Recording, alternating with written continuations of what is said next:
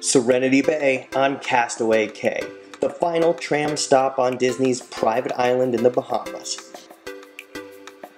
Even if you brought kids with you, it's totally worth the trip to the other side of the island.